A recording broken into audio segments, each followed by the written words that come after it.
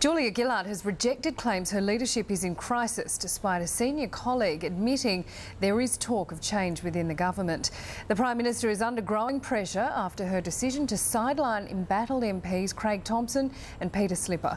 For more on this, we're joined by a political reporter, Alex Hart, in Canberra. Alex, good afternoon to you. Could there really be another challenge so soon?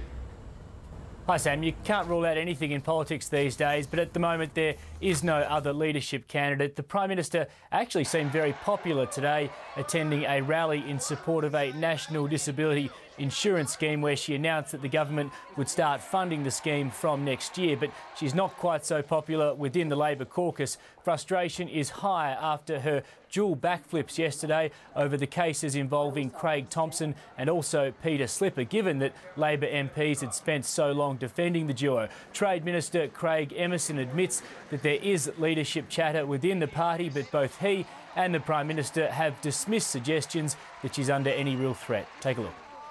People will engage in uh, the talk of politics in the newspapers. I expect the newspaper commentators to do that. I will be leading the Labor Party to the next election. I say to the decent, honest members of the Labor Party in the Parliament and in the country, this Prime Minister is degrading our Parliament. She's devaluing your party. It's time for change.